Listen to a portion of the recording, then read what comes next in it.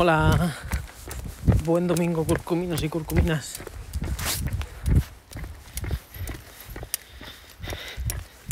Muy buenas. Hola Pili. No fallas una, ¿eh?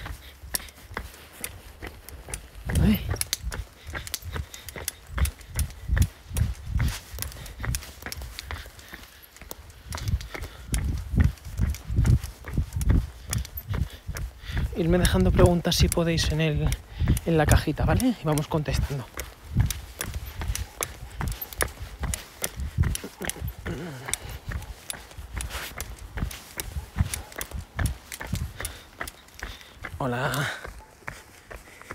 Sí, ya es de noche, Gerard. Sí, sí, sí. Y lleva por lo menos media horita así, ¿eh? Yo creo que sobre las 6 ya empieza a oscurecer. Vale. ¿Qué tal el jarabe de arce? Jarabe de arce, conocido xilitol, es un polialcohol muy interesante, muy interesante, poco calórico y con muchos beneficios, ya que tiene esa parte edulcorante interesante a diferencia de otros. Prefiero la stevia, pero no es mala opción, vamos. Y me dejan preguntitas en las cajitas. Hola a todo el mundo.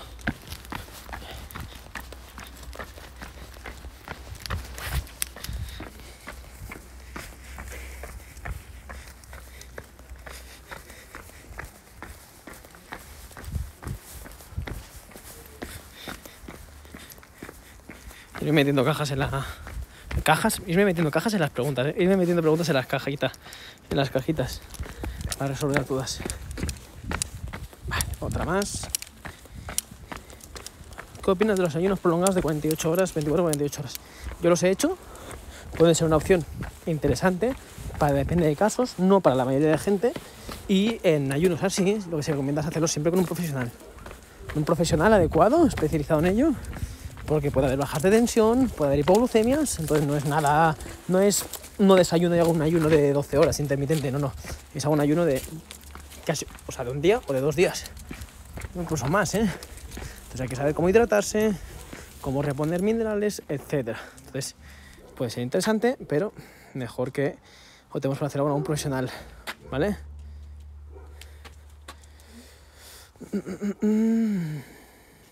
Disculpadme que vaya con la capucha, pero hace bastante, bastante, bastante fresquito por aquí ya, ¿eh? Vamos.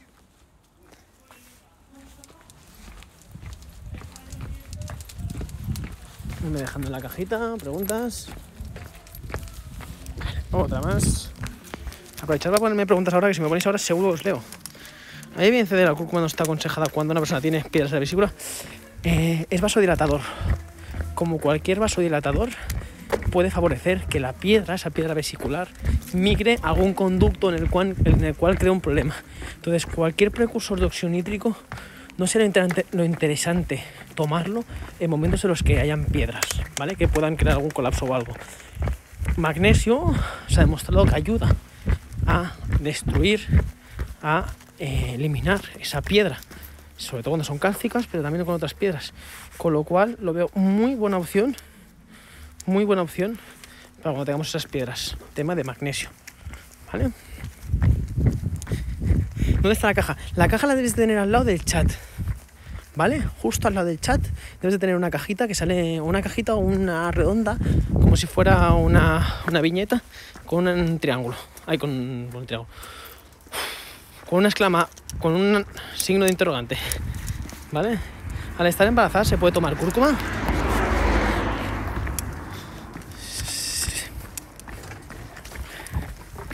Como cualquier, como cualquier vasodilatador, hay que tener cuidado cuando se está dando el pecho o cuando se está embarazada, ¿vale? Entonces, tener cuidados ahí para eh, que no haya problemas con el embarazo ni con el peque, ¿vale? Porque puede tener un efecto vasodilatador y sobre todo anticoagulante, puede influir negativamente, con lo cual en dosis altas no se recomienda tomar la cúrcuma.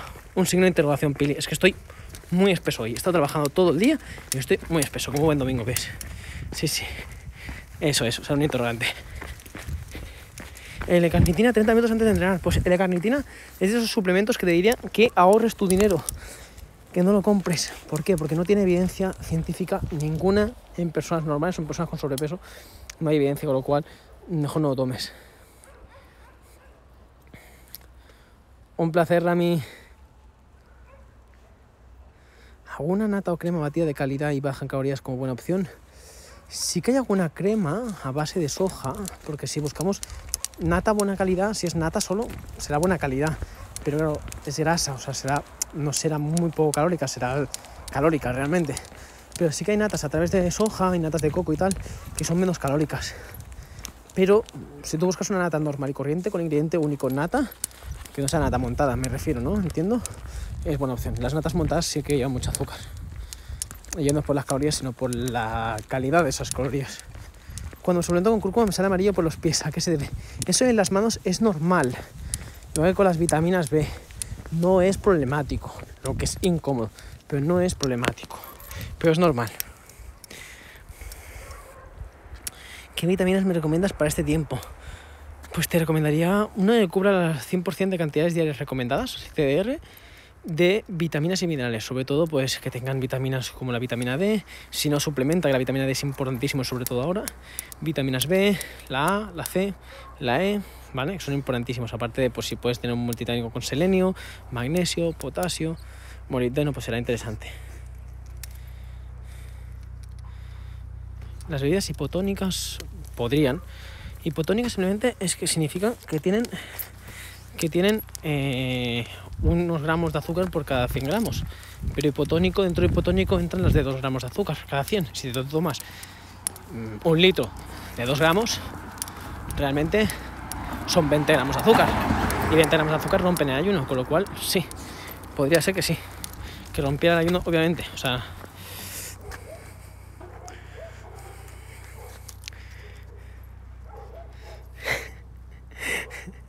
algún imperio, depende de qué imperio, ¿eh? Si es imperio japonés me sirve, Alba.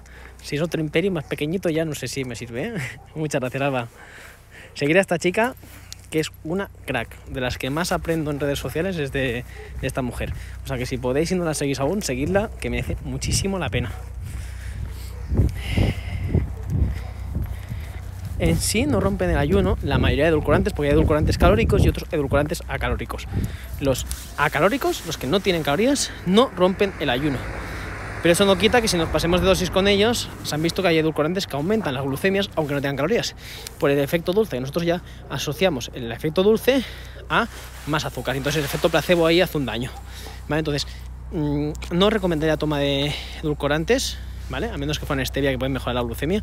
Todos los demás no los recomendaría durante el ayuno. No porque rompan, sino porque perdemos beneficio de los edulcorantes y del ayuno, sobre todo, perdemos los beneficios, ¿vale? Después de ayuno intermitente, ¿cuándo, cuando meto alimentos? Cuando meto alimentos me rugen las tripas como sano. ¿Por qué? Cuando meto alimentos.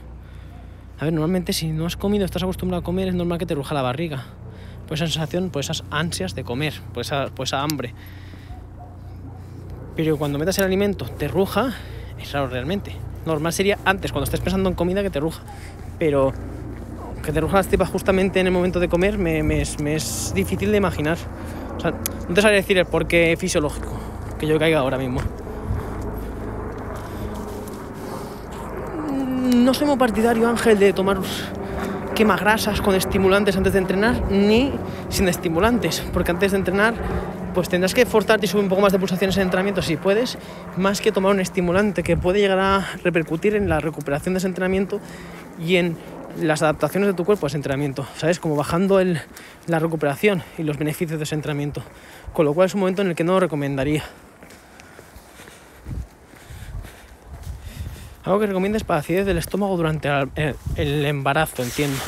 Pues mira, el jengibre va genial, tiene muchísima evidencia para evitar náuseas y acidez estomacal, sobre todo en, en embarazadas. Y si no, la glutamina o el bicarbonato sódico. Son tres tops que te muy bien, muy bien, muy bien. Déjame las preguntitas en la caja, ¿eh? Porfa. Casi las puedo leer mejor. ¿A qué puede deberse el que me duerman las manos y parte del brazo, sobre todo cuando estoy con el móvil? Pues una de dos, o que tenga las manos por en alto, por encima de la altura del corazón, y eso puede influir obviamente que haya menos bombeo de sangre, menos potencia de bombeo y llegue menos sangre, a que tengas mucho frío en las extremidades, que eso el jengibre, vuelvo a hablar de él, tiene bastante muchos beneficios en, en mejorar la circulación sanguínea y la temperatura corporal, sobre todo en mujer. Oh, una falta de problemas de circulación sanguínea. Pero básico te diría que sobre todo porque puedes tener las manos por encima de la línea del corazón, pues obviamente la circulación sanguínea va peor ahí que cuando está por debajo del corazón, por el simple bombeo, las, las válvulas de bombeo de las arterias y de las venas, o por lo que te comentaba de, falta de circulación. Entonces ahí jengibre, el citronilamato, arginina, pues funciona muy bien.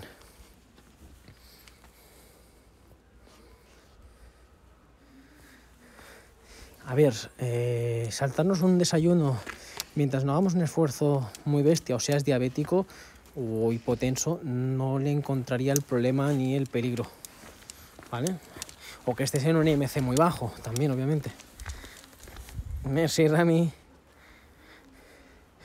¿Qué suplementos recomiendas para ayudar al sueño? ¿Qué marca cantidad? Gracias siempre por ayudarnos. Pues mira, justo el que he subido hoy, que te recomendaría una dosis del que he subido hoy del Sleep, es muy buen suplemento. Y ahí te pongo la marca, es el Sleep Plus de Scientific Nutrition. Y ya te digo, una dosis 30 minutos antes de acostarte. Ayuda, va muy bien al sueño por la calidad de ingredientes que tiene.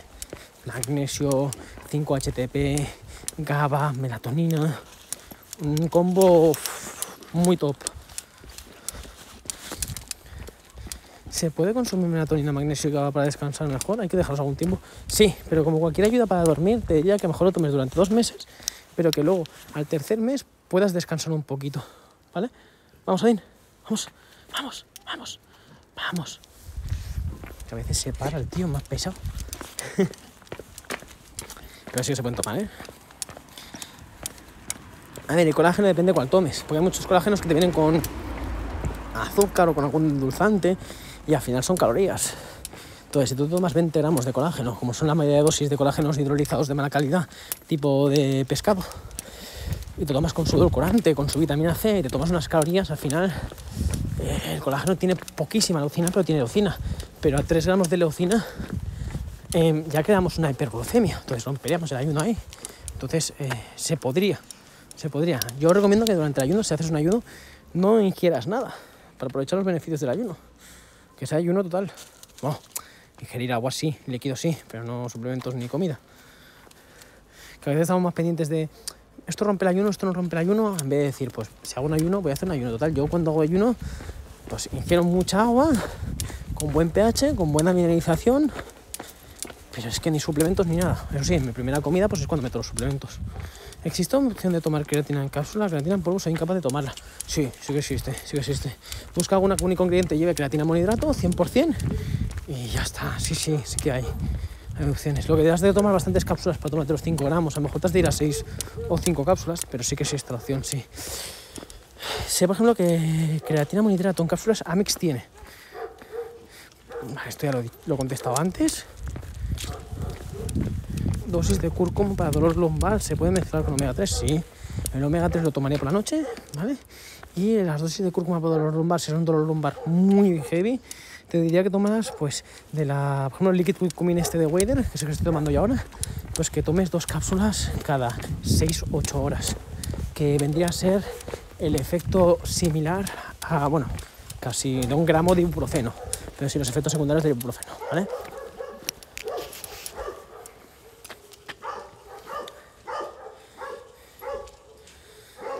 De la líquida es mejorable, ¿vale? Es mejorable de la líquida. De la en polvo es polialcohol puro, pero puro, puro, puro, puro, puro, y duro. Entonces, si es líquido, bueno, hay mejores, pero si es en polvo, eh, para nada, para nada. Me pongo máscara. Oye.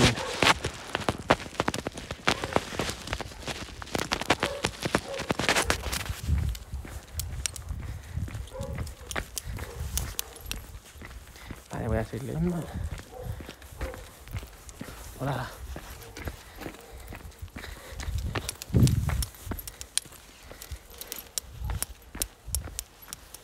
Bueno, cañadas o demasiada, o sea, demasiada o demasiada poco fibra, por ejemplo. Y te hidratas bien, a ver, es que el tema de hidratación es bastante, bastante eh, criticable, por así decirlo. Hidratación nos tenemos que ir más o menos a un litro cada 20 kilos. O sea que si tú pesas 60 kilos tendrías que ver al menos entre la comida, que la comida obviamente lleva agua, la fruta, la verdura, etcétera, el arroz, cualquier cereal que se, que se, que se hierva. Entonces tendríamos que llegar más o menos, si pesas 60 kilos tendríamos que tomar 3 litros de agua al día. ¿Vale? Eso sería estar bien hidratado, según los últimos consensos y estudios. Entonces, que llegues a 3 litros, muy poca gente me dice, me hidrato muy bien, me hidrato muy bien. Y a lo mejor luego se toma un litro y medio. Y eso para ellos es hidratarse bien, para nada, nada, ¿vale? O sea, tenerlo en cuenta eso, esa regla. Hace poco subí uno, si no me equivoco, de Lidl, puede ser o de Lidl o de Aldi, que estaba muy bien, muy bien. Y, y la verdad que estaba logrado, o sea, no tenía nada raro. Sí que mucho ingrediente, pero estaba bien.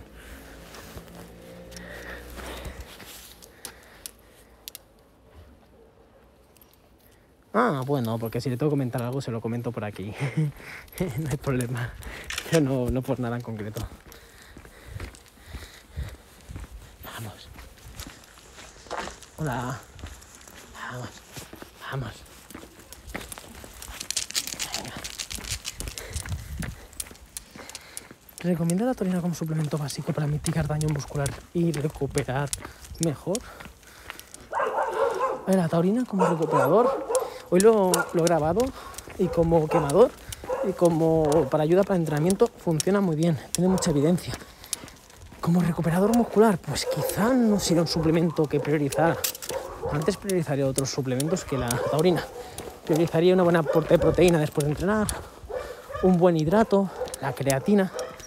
La taurina tiene otros beneficios, pero no destacaría justamente ese beneficio. Bueno, sale el potasio alto en analítica, que lo veo por aquí, siempre que tengas el sodio bien, no es problema. No es problema. Menos obviamente que depende que cómo esté en analítica, pero si está un pelín alterado no lo veo problema. Para una mujer de 60 años, ¿cuál sería la dosis diaria de vitamina D como suplemento? Tendría que ver tu analítica. Que tengas 60 años, que tengas 15, que tengas 50, que tengas 30, no interfiere en nada. Tengo que ver tu analítica. Puedes tener 60 años y estar como una niña de 30. O puedes tener 60 y tener una edad de 80. Vamos a ver esa vitamina D en analítica. Cuando la veas en analítica, te puedo decir la dosis exactamente. ¿Vale? A ver, que posiblemente tengas deficiencia, porque casi todo el mundo tiene deficiencia, más en España, por el sitio donde estamos y la altitud que estamos y tal. Pero mm, no puedo decirte una. No puedo decirte una mmm, dosis estándar de, de clavártelo, ¿sabes? Quema hidratante que esté bien sin químicos para uso diario tengo una puntada de la marca mm, Veleda, V-L-E-D-A, de Enfit, que está muy bien, que no lleva cosas raras, que es cruelty free, etc. Y tanto hay de manos, como de cuerpo, como de cara. Y está muy bien, ¿eh? Mira, mira, mira. ¿Recomiendas descansar a tomar multivitamínicos? ¿Cuánto? Mil gracias.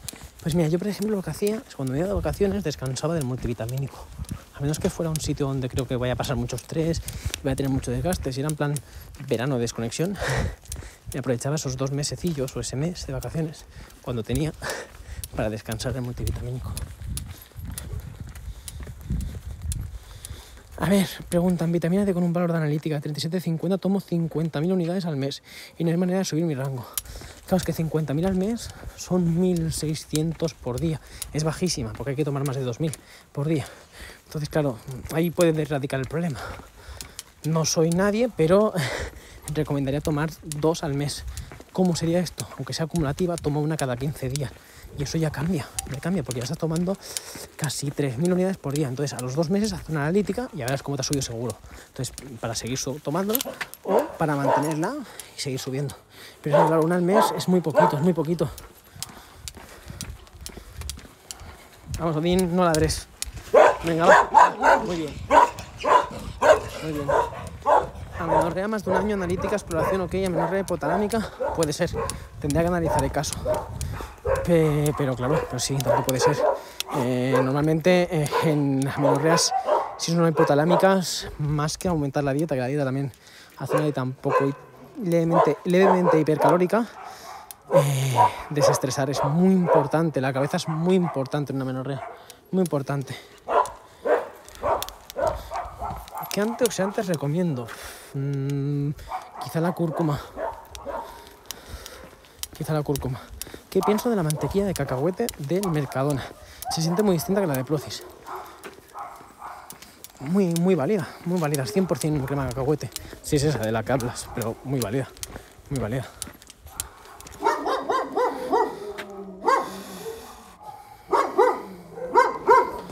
¿Me recomiendas andromas como antioxidante? Pero es algo caro. Recomiéndame alguno, por favor. Ostras, andromas no sé lo que es. Pero si es un antioxidante efectivo, la cúrcuma, el licopeno, el ácido alfa son más económicos y mucho más evidencia.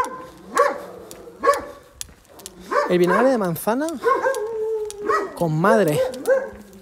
No sé lo que es madre. ¿Para qué lo puedes usar? Pues para alinear un montón de comidas. El vinagre es top, igual que el aceite de oliva. Pero top.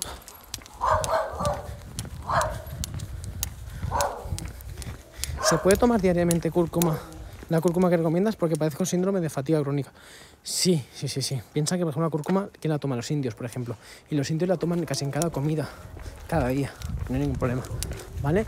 Eh, te diría también para síndrome de fatiga crónica, em, la creatina es un suplemento espectacular, igual que la coenzima, coenzima Q10. Son dos suplementos que tienen mucha evidencia para fatiga crónica y fibromialgia segundo. Y pasta de dientes que recomiendo. Yo utilizo también la de Veleda, la de Aloedent. No sé cuál más utilizaba. Es los todos en favoritos de, Enfit y ya no me acuerdo. Que las metí, varias las he metido yo personalmente. Porque una de las condiciones cuando entré en Enfit era meter productos de todo tipo, pero saludables, tanto comida de perros como etcétera. Y digo, Veleda y Aloeden Está muy bien, igual que su colutorio de Aloeden. Es que hay una marca más, pero es que no la sé, no, no caigo. Muchos ruidos intestinales después de comer, ¿a qué se puede deber? Claro, es que es muy compleja esta pregunta. Si son ruidos sin dolor, no me preocuparía. Si son ruidos con dolor, en plan fermentaciones, cólicos, etcétera, pues ahí sí que podemos ir a dar que hay un sobrecrecimiento bacteriano o hay algún problema, sobre todo de microbiota. Pero si son sin, o que has comido muy rápido tragando aire, por ejemplo, con mucho estrés, o has comido algo con gas, o has bebido algo con gas. Pero si no hay problema en ese sentido, que no son dolores, yo no me preocuparía en sí. a menos que sean molestos, pero es que entonces tenemos que ver qué problema hay ahí. ¿Vale? De nada.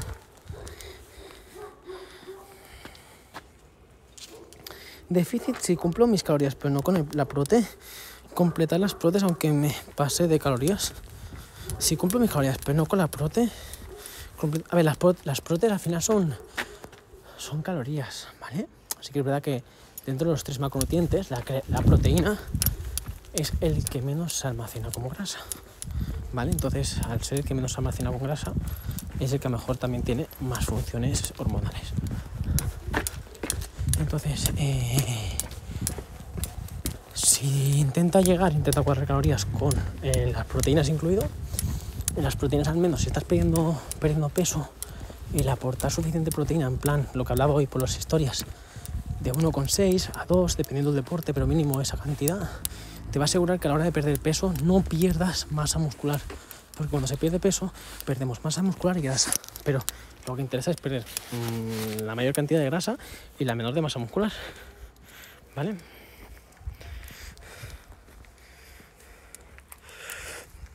La verdad que poco he leído de evidencia de decir, uff, aquí hay una evidencia de respaldo tremenda. Poco he leído, la verdad.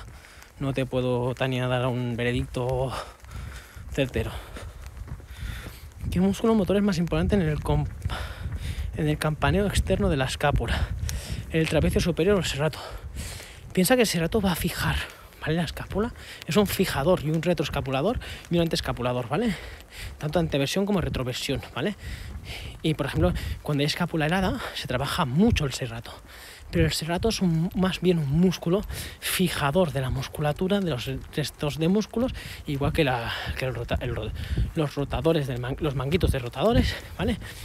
Sobre todo los externos, los que crean menos aversión pero el trapecio superior y el dorsal, que el dorsal tiene una unión en, las vértebras superiores, ¿vale? Cuando hablamos de dorsal ancho, eh, hace más de fijador, solo que el trapecio sabemos que recupera y tiene una, una densidad muscular brutal. El trapecio, sobre todo la porción superior, es enorme, enorme.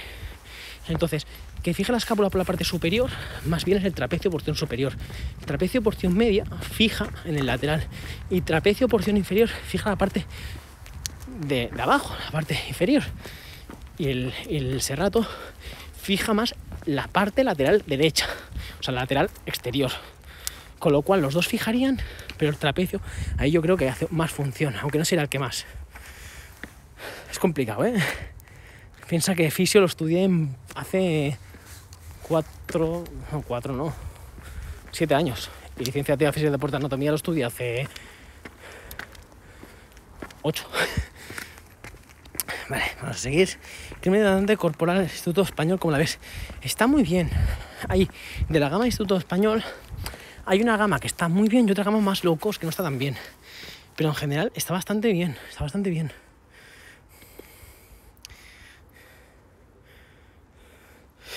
Aquí lo más evidencia, lo más, evidenciado es sobre todo la rosa mosqueta. es lo que funciona mejor para el tema de estrías y buena hidratación, ¿vale? Y sobre todo por la pérdida de peso más prolongada y no tan drástica, pero bueno, así no, podemos hacer mucho. Jugo de piel y semilla de uvas negras lo tomo como antioxidante y té verde, ¿qué tal esos antioxidantes? Té verde es interesantísimo, haré un vídeo dentro de muy poco.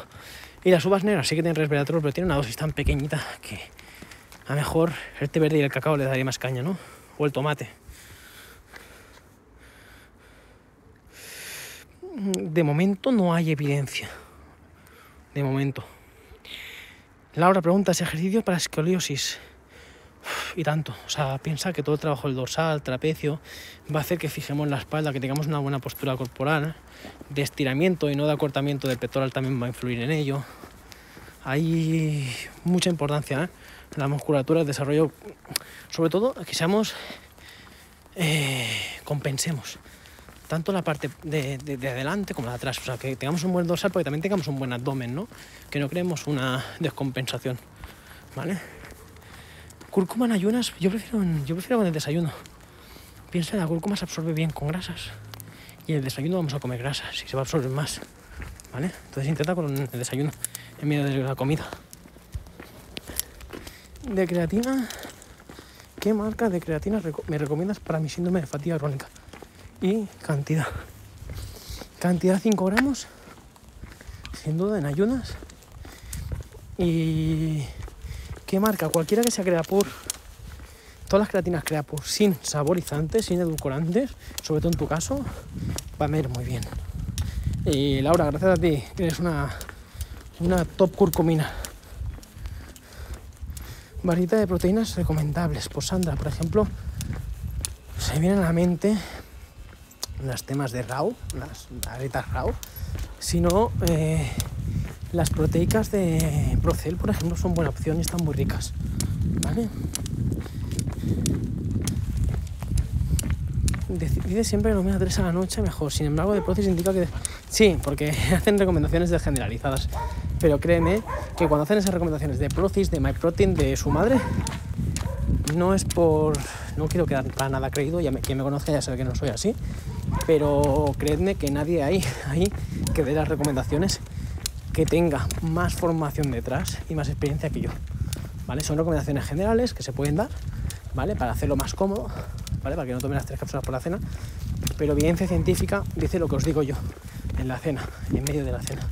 ¿Vale? Creedme que no hay ninguno más friki que yo y créeme que la gente que está ahí normalmente en esas páginas es gente que yo formo en la universidad. En suplementación deportiva puedo decir que soy de la gente que más formación tiene actualmente ahora, al menos en, en lengua española.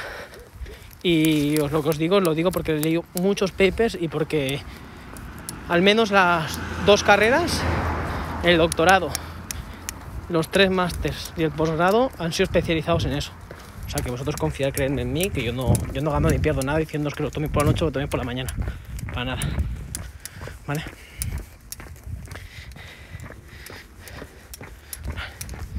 Vamos, hay preguntas chulas, ¿eh? Me cuesta tragar las cápsulas de omega 3. ¿Puedo moverlas y tragarme el líquido? ¿Valdría? Sí. Sí que es verdad. Como se te repita el aceite de pescado, te lo digo por personalmente, por experiencia, cuando lo tomé en Islandia, se te puede repetir y puede ser muy desagradable. Pero sí, sí que puedes. He leído, hombre, ya te digo. ¿A qué viene eso, Laura? Muchas gracias, Laura. ¿Cómo entrenar para correr? Entiendo, ¿no, Lorena? Lo comenté hace poquito. El tema de trabajo del glúteo, de abdominales, de una buena postura corporal a la hora de correr, te va a evitar muchos problemas. Entonces, como consejo rápido y, que creo que puede ser efectivo, es el tema de ser progresiva. Progresiva, ¿vale? Y, taboada, ya lo sé, ya lo sé, pero que lo comento para que la gente también lo sepa, ¿no? El tema de decir, ostras, pues me fijo más de la posología, o sea, me fío más de la posología de una página que, que de ti. Yo ya sé que tú eres de los veteranos, pero vamos, veteranos de años, ¿eh? Te recuerdo de años, ¿eh? Pues Niños sanos, adultos sanos. Para mí es un libro top del embarazo. Con el crack Jesús Sánchez. Un amigo y un referente. ¿Se puede tomar batido de proteínas en embarazo? Sí, ¿vale? Evitemos los edulcorantes a poder ser. Sí que se puede. Pero obviamente en dosis normales. Por eso te pones siempre que en embarazo no lo tomes o que, ¿vale? No te pases, obviamente. Igual que no te pases comiendo proteína, igual que no te pases comiendo azúcar. Pero sí, sí, sí pero sobre todo proteínas de suero decentes, ¿eh? Obviamente ahí evitemos con azúcares, evitemos subidores de peso, etc. Vale. Entiendo que será alto en resveratrol. Me parece bien. Si puede ser en transresveratrol, que es la patente de resveratrol más efectiva, perfecto. Q10 en ciclismo, ¿en qué podría ayudar? Pues mira, el Q10, igual que la creatina, lo que hacen es que eh, a la hora de la producción del ATP, que es esa moneda energética que tú tienes para hacer más esfuerzo y durar más tiempo, sobre todo en ciclismo o en, en ciclismo, por ejemplo, se te acaba el ATP, ¿vale? te, te, fatigas cuando se acaba el ATP, ¿no? Y no hay contracción muscular o cuando hay una desregulación del calcio. Igual que lo que pasa en una persona con fatiga crónica, que tampoco tiene ese ATP, pero ya no lo produce. Tú lo produces y lo gastas, pero la persona con fatiga crónica no, la, lo produce. En los dos casos hay que reponer el ATP. ¿Cómo se repone el ATP? Con creatina y con enzima Q10. Entonces, que tú tengas coenzima Q10 y creatina te va a ayudar a formar ese ATP, ya que tengas esa moneda energética y tengas mayor rendimiento, ¿vale? Y sea más tarde la fatiga. Vais a oír el perro grande, ¿eh? el de siempre, que estamos pasando por su casa. ¿Mejor proteína vegetal o whey? Para mí, Hombre, vegetal, piensa que vegetal se incluye el lácteo y se incluye el huevo. Entonces, claro, es lo mismo, que el whey es lácteo. Pero si ponemos a comparar, eh, la whey tiene más evidencia que la vegetal. Vamos a seguir mirando. Con el batido de protes, amilopectina o crema de arroz. A ver, por evidencia, amilopectina. Pero la crema de arroz, la verdad es que da un saborcito más rico. ¿vale? Hostia, esa papilla, con perdón el hostia, pero esa papilla está rica, ¿vale? Pero, eh, evidencia, la melopectina es el mejor hidrato de carbono, ¿vale? Vale, si es vegetal es eso, o sea, mucho mejor la de suero, sobre todo por la cantidad de leucina, ¿eh? que es la que va a marcar la calidad de la proteína y el valor biológico de la proteína. El valor biológico es, es la calidad proteica total, ¿vale? Explícame, porfa, Paula, en qué papers hay del tema de atralosa, porque le hace mucho tiempo, pero no tiene más evidencia que el omega 3, por ejemplo.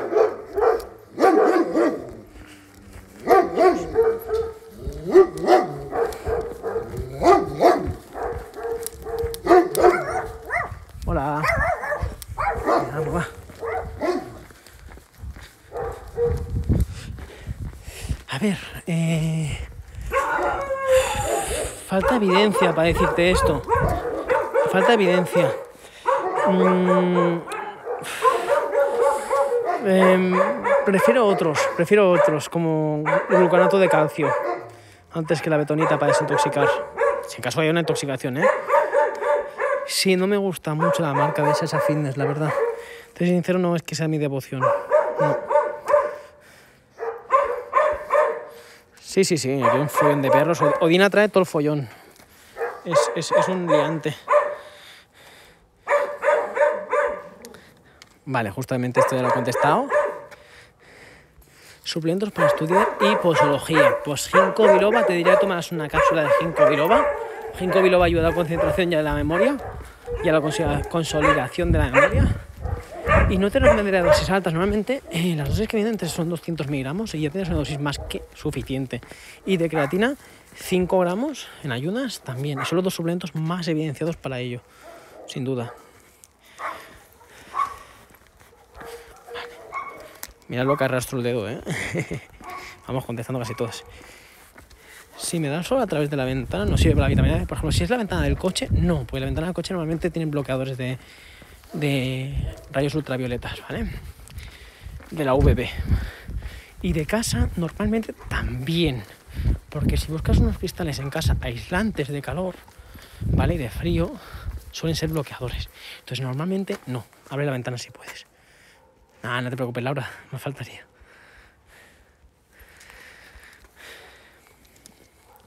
Salmón de piscifactorio no tiene mucho omega 3. Los papers que han salido últimamente de esto, porque muchas veces se dice come salmón, come tal, come cual, no es que priorice el, omega 3 de esos pescados, porque al no ser en, en aguas frías y no tener la alimentación que tienen, no tienen tanto omega 3. Tiene que ser de, de río, salvaje. Y claro, el precio te puedes dejar un sueldo solo en, comprar el salmón. ¿Qué aporta colágeno? Sirve para lesión y articulaciones. Sirve como antiinflamatorio, ¿vale? Entonces, como antiinflamatorio sirve tanto para una lesión como para la articulación.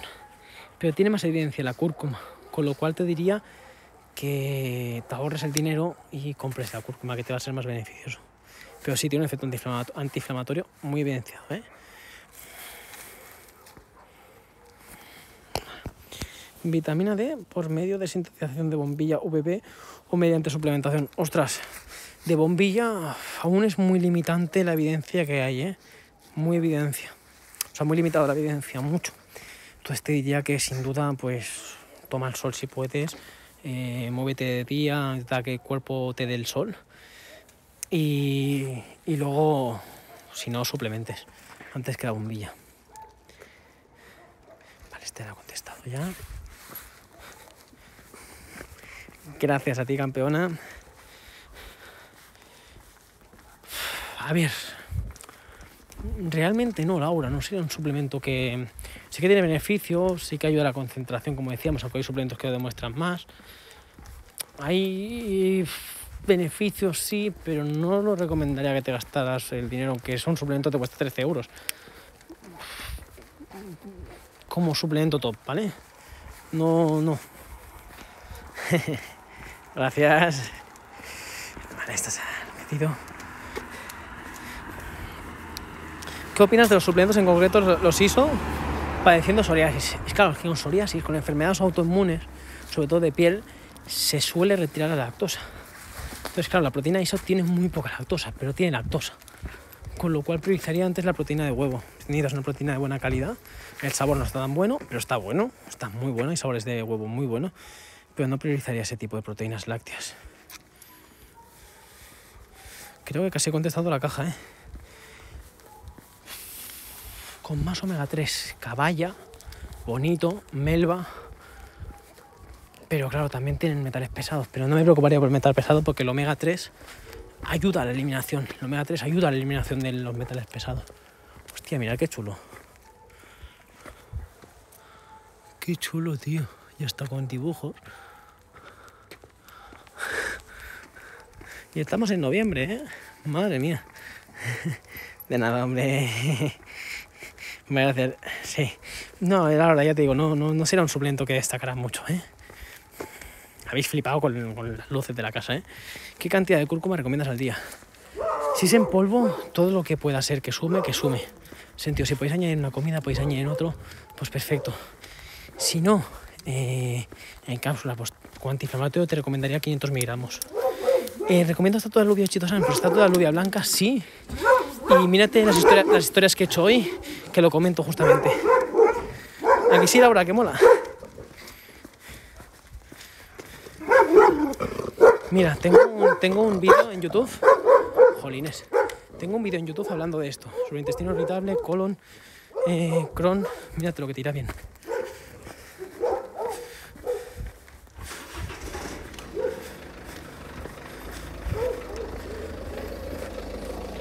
Hola. Al final, para que algo sea barato, ha de tener dos cosas. O mucha venta y mucha rotación, cosa que Mercadona tiene mucha venta y mucha rotación, entonces puede apretar a los productores para decir, oye, te voy a comprar 2 millones de productos en vez de 200 como una tienda pequeñita, tienda Pepe, en vez de comprarte 200, te voy a comprar 2 millones, rebájamelo lo máximo. Al final el vendedor, si el vendedor gana un euro vendiéndolo vendiendo 200 unidades al precio que la vende, lo vende a 6 euros, pues a lo mejor gana ese euro vendiendo 100 unidades.